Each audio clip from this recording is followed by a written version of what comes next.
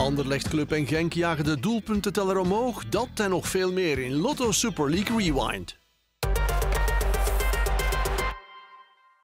Een punteloos Charleroi zou een hapklare brok moeten zijn voor Anderlecht, al is het toch even schrikken voor Paarswit. Als Duterne al na vijf minuten kan scoren, jammer genoeg voor haar, staat ze net buiten spel. Het lage blok van Charleroi zorgt aanvankelijk voor weinig doelgevaar. Pas halfweg de eerste helft krijgen we na balverlies van de Carolos een eerste grote Anderlechtkans die wel meteen raak is. Na slecht wegkoppen kan Jacobs simpel binnentikken. Twee minuten later ligt het plots helemaal open bij de bezoekers. Anderlecht buiten situatie goed uit. Minnaert kan de 2-0 eenvoudig binnenleggen. Dat is ook de stand na 45 minuten voetballen. In de tweede helft krijgen we veel sneller doelpunten te zien, telkens na een stilliggende bal. Jacobs na een hoekschop. En Thornton in de rebound na een vrije trap. Zo snellen we in twee minuten tijd van 2 naar 4-0.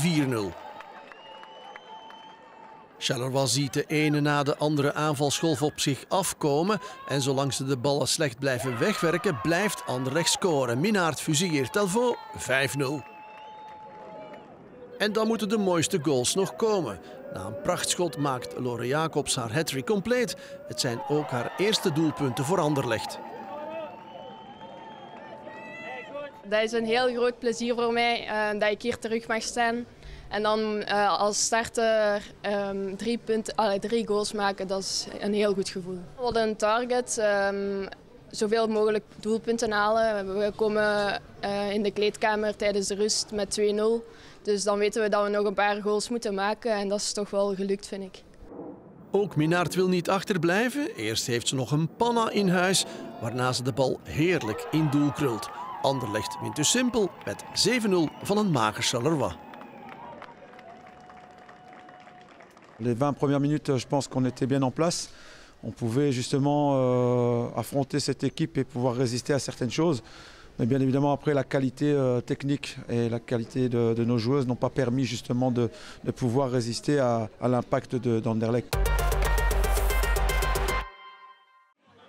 De meisjes van KA Agent wilden tegen Club de punten thuis houden en speelden een degelijk openingskwartier. Tot blauw-zwart een versnelling hoger schakelde. De West-Vlamingen zetten goed druk naar voren. Oezraoui dribbelt langs de verdediging en met een prachtschot opent ze de score. Op stilstaande fases is Davinia van Mechelen heel vaak dodelijk efficiënt. Nu kan de Gentse verdediging eerst nog wel tussenkomen, maar paast dan wel knullig in de voet en in het loopje van Oezraoui, die niet twijfelt en over Maas in doel stift. 2 op 2 voor Oezraoui. Club Wiley duwt het gaspedaal nu volledig in. Elke kans die ze creëren, werken ze af. Van Mechelen met de voorzet. Matavkova schiet in de linkerhoek. Club Wiley mag gaan rusten met een comfortabele 3-0 voorsprong. Ook na de rust dendert de Club Wiley-trein rustig verder. Doelvrouw Maas met een slappe inspeelbal. Nierink laat zich verrassen in de rug en Boutjebi is er als de kippen bij en tikt zomaar de 0-4 binnen. Het wordt een pijnlijke avond voor de thuisploeg. En het wordt een gala-match voor Club Waelé. Want opnieuw geeft de Gentse defensie niet thuis. De kaboter tot bij Van Mechelen, die er 0-5 van maakt. We spelen net geen uur.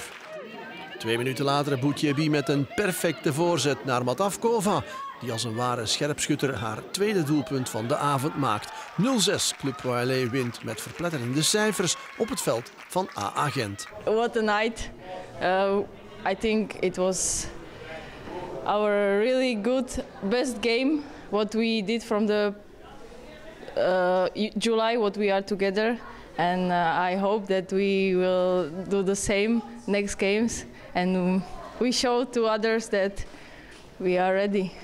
Het is uh, Brugge. Ik denk dat, dat, uh, ook het mannenvoetbal leeft. Uh, we hebben hier zeker naartoe geleefd. Zeker na Zoto wouden we iets rechtzetten. we zijn goed gestart ehm, eigenlijk aan de match. Maar dan komt die eerste goal, komt die tweede goal en dan ging het snel. In het treffen tussen Aalst en Genk zien we de Limburgers meteen de bovenhand nemen zonder dat er echte kansen worden gecreëerd. Maar dan raakt Kamps van Mullum in de 16 en gaat de bal op de stip. Van Kaasbroek trapt met een lange aanloop de penalty binnen. En zo komt Aalst een beetje tegen de gang van het spel voor. Een duidelijk signaal voor Genk om wat sneller te schakelen. Kersten met een heel goede doorsteekpaas. De misser is van Van den Nouwen. Van Zer schiet gekruist voorbij Engelen, maar de bal eindigt op de paal. Aalst komt hier goed weg. Het meeste gevaar komt uit stilstaande fases. Tien minuten voor de pauze schiet Van der Zande naast. Genk blijft dreigen. Kersten wil de bal voorleggen voor Van Zer.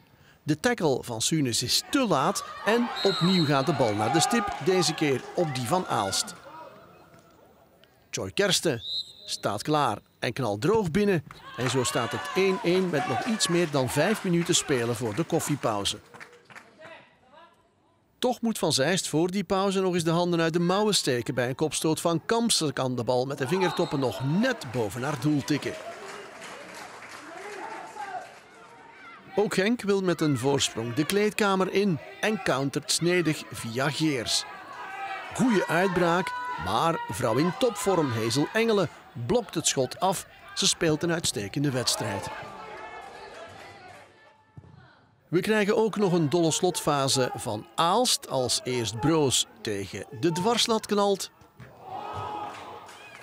En Van Mullum in de herneming met een afstandsschot de kwaliteit van de paaltest. We gaan rusten met 1-1 op het bord na niet onaardige eerste helft. Na de rust is het opnieuw Genk dat de teugels in handen neemt. Romy Kamps stuurt de bal diep. Petri met de voorzet. Kersten kan er niet bij. Geeft mooi terug. En Van Zijr schiet van dichtbij hoog over. Genk blijft kalm. Kamps kopt.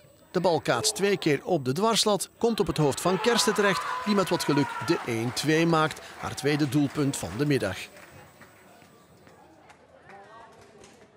In de 85ste minuut speelde ingevallen Wielox de ook al ingevallen Gerards mooi aan.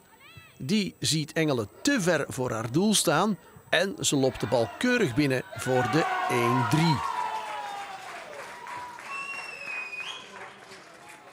1-3. Drie minuten later duwt Tieleman nogal dom in de rug van Gielen, vooral omdat het in de 16 is. Uiteraard gaat de bal opnieuw op de stip. Aanvoerder Siem van der Zande maakt er 1-4 van. Het invallersduo speelt zich in blessuretijd nog eens in de kijker. Wielox opnieuw naar Geraerts. En zo eindigt de match uiteindelijk nog met zware verliescijfers voor Aalst. 1-5 met dank aan de Gouden Genkse invallers. De bank valt heel goed in. Alle vier vallen ze heel goed in. Dan zeg chapeau. En ik denk dat dat vandaag toch het ene positieve is. Dat we allemaal als team eh, gevochten hebben om te winnen. We hebben nu 9 op 12. Ja, we zullen zien nu tegen Anderleg hoe ver we staan. Want uh, de punten tegen Gent moet je ergens gaan terughalen. En uh, ik denk dat uh, tegen de top, top 4 moet je die gaan terughalen. Ik vond persoonlijk dat de eerste helft wel redelijk goed in elkaar zat. We kwamen 1-0 voor en dan uh, helaas met die penalty. Ik weet wel niet of dat penalty was, maar uh, dat laat ik het midden 1-1. En dan ja, de tweede helft uh, beginnen ze te drukken. Uh, beginnen wij het een beetje af te laten weten, duels verliezen. Uh, en dan zie je ja, als zij veel duels winnen, dat zij veel kansen creëren. En dan een aantal goals scoren. Wij willen dan nog proberen om gelijk te maken. En dan krijgen we er nog, nog twee tegen een net. En, en, ik denk dat dat natuurlijk spijtig is. Het is een overdreven score. Dat verdienen we niet met het spel dat we hier vandaag geleverd hebben. Na een zeer uitgebreide studieronde tussen Woluwe en Zulte Waregem zijn alleen de bezoekers echt gevaarlijk in de eerste helft. Windels kopt de bal van dichtbij over. Na de rust krijgen we meer dreiging. Michiel schildert de bal op het hoofd van Wertbroek. 1-0. Woluwe opent nu al in vier van haar vijf wedstrijden de score. Het is niet de eerste week dat we, dat we dat voor hebben, dat we voorkomen en dat we dan op een of andere manier toch nog die voorsprong ja, weggeven. Dus het is denk ik wel iets waar dat we ja, echt aan moeten werken. Uh, maar ik denk wel dat het echt een opzeker moet zijn voor ons uh, dat we weer als eerste scoren en dat we voorkomen. En ik denk blijven werken gewoon daar. De bezoekers lijken nu klaar wakker. Pre speelt Vervakken schitterend vrij. Zij ziet de alleenstaande Lefere staan en de spits van Waregem trapt haar tweede van het seizoen tegen de netten. 10 minuten voor tijd krijgt Zulte Waregem een vrije trap. Stijvers ziet Vervakken helemaal alleen staan. Haar trap gaat via Willems en de lat als een flipperkastbal over de doellijn. en 1-2 voor de bezoekers. Ja, ik, echt waar. Ik stond daar en ik dacht, wow, die bal zit er nu echt in. En iedereen kwam naar mij en dat was fantastisch. Ja, iedereen was zo blij. Net voor afluiten stuurt matchwinnares Vervakke de ingevallen Awete diep. Die stormt op Willems af, maar wordt neergehaald door Boegaar. Een terechte rode kaart voor de verdedigster en een vrijtrap voor Zulte Waregem. Stijvers gaat trappen. Over de muur, Willems redt makkelijk. Het laatste wapenfeit is nog voor de thuisploeg. Bongaarts krijgt de kans op de gelijkmaker, maar ze kan haar schot niet kadreren. Zo wint Zulte Waregem op Woluwe en pakt het 12 op 12. Ik denk als je met de volledige nieuwe staf um, in dat damesvoetbal stapt, met heel veel enthousiasme, met heel veel drive, uh, met heel veel uh, ideeën die we moeten overbrengen aan de dames, dan, dan is het leuk dat je 12 op 12 pakt, omdat je dan ja, kunt verdedigen wat je eigenlijk elke week probeert te brengen, te zeggen ten opzichte van hen. En, en dat is, dat is heel, heel leuk om zo te werken.